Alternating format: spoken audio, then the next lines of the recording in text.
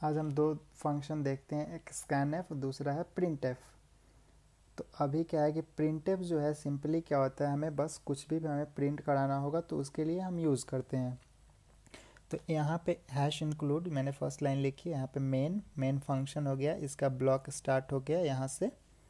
उसके बाद यहाँ पे मैंने क्या लिखा print f my name is print f x y z print f and your name print f sum तो ये चार लाइनें हमने लिखी हैं। मतलब अगर सिंपली एक लाइन लिखे तो भी हमारा कंप्लीट एक प्रोग्राम हो जाता। तो यहाँ पे बस एक और चीज़ एक मतलब बतानी थी मुझे, इसलिए मैंने तीन चार लाइन लिख दी।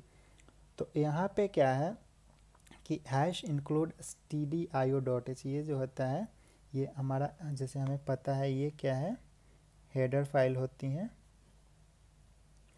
उसके बाद जो है इस हेडर फ़ाइल क्या होता है? इसमें जो लाइब्रेरी फ़ंक्शंस हैं, जैसे ये प्रिंट हो गया, इसका जो डेफिनेशन है, वो इस लाइब्रेरी फ़ंक्शन में डिफाइन है।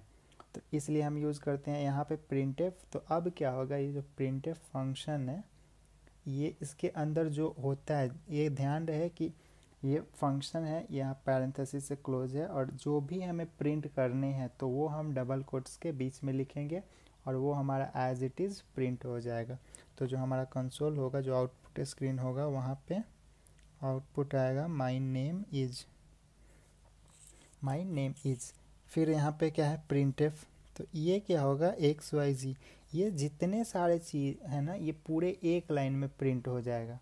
तो अब अगर हमें क्या है कि नेक्स्ट लाइन में प्रिंट करनी है तो हमें एक जो नेक्स्ट लाइन होगा, यहाँ पे प्रिंट एफ़ स्लैश एन जो कि बताया था तो हम स्लैश एन यूज़ करेंगे तो जो कंट्रोल है हमारा यहाँ था पहले, अब वो न्यू लाइन में आ जाएगा।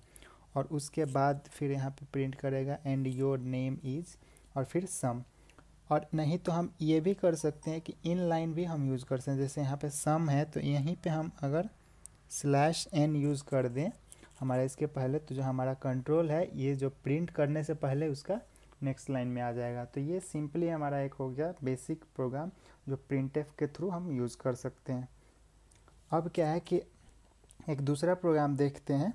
उसमें हमें क्या देखना है कि जैसे स्कैन एफ़ एक वैल्यू लेना है और हमें प्रिंट करना है।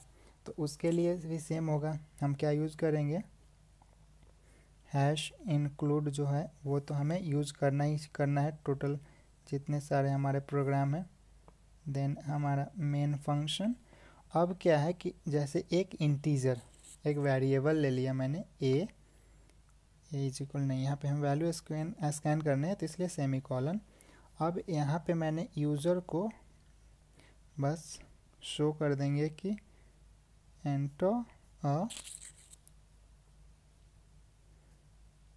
नंबर यहाँ पे हमने मेंशन कर दिया। अब क्या है कि स्कैन एफ़ यहाँ पे परसेंट और ये वैल्यू किस तरह के, तरीके का है? इंटीजर टाइप का। तो हम या तो डी या आई यूज़ कर सकते हैं और स्कैन कर रहे हैं, इसलिए एम परसेंट का साइन लेंगे और ए का एड्रेस हो जाएगा मतलब ए दे देंगे।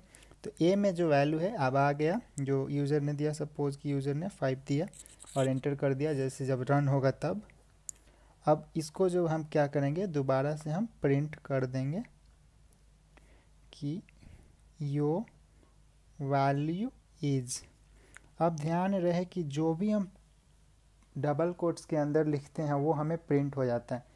तो वैल्यू इज़ लेकिन उसने जितना यूज़र ने दिया है, उतना हमें प्रिंट करना है तो हम फिर से यहाँ पे फॉर्मेट स्पेसिफायर का यूज़ करेंगे और इंटीजर है तो डी लिख देंगे।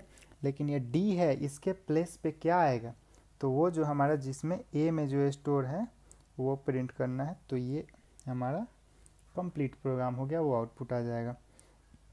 उसी तरीके से अगर सपोज़ कि हमारे पास तीन वेरिएबल हैं ए बी सी और इसमें तीनों में कुछ ना कुछ वैल्यू असाइन है और सारे को हमें प्रिंट करने हैं तो हम यहाँ पे लिख सकते हैं print f percent d percent d and percent d यहाँ पे ध्यान रहे, हम स्पेस दे भी सकते हैं, नहीं भी दे सकते हैं। यहाँ पे मतलब हमें जैसे आउटपुट में स्क्रीन पे चाहिए, वो दे सकते हैं। और यहाँ पे मैंने लिखा सी बी ए तो यहाँ पे क्या है कि जो इसका कॉरेस्पॉन्डिंग मतलब जो है, जैसे यहाँ पे क्या है कि जो फ़र्स्ट डी है तो यहाँ पे जो फ़र्स्ट मिलेगा सी वाला, वो वैल्यू प्रिंट हो गया। ये सेकेंड है तो यहाँ वाला इससे मैच करेगा, यहाँ वाला। तो यानी कि आप चाहते हो कि पहले ए प्रिंट करें तो यहाँ पे ए बी सी तो जिस ऑर्डर में हमें प्रिंट करना है, उसी ऑर्डर में हमें ये वाले वैल्यू देने होंगे। तो ये हमारा सिंपल एक प्रोग्राम हो गया। हम हम इसके थ्रू हम कोई भी प्रोग्राम में हम स्कैन एफ़ और प्रिंट एफ़ यूज़ कर सकते हैं। ये बस सिंटैक्स के लिए एक बेसिक सा हो गया। इसके बाद हम धीरे धीरे हम थोड़े बड़े करते जाएँगे प्रोग्राम और इसी तरीके से और भी हम बहुत सारे प्रोग्राम देखेंगे।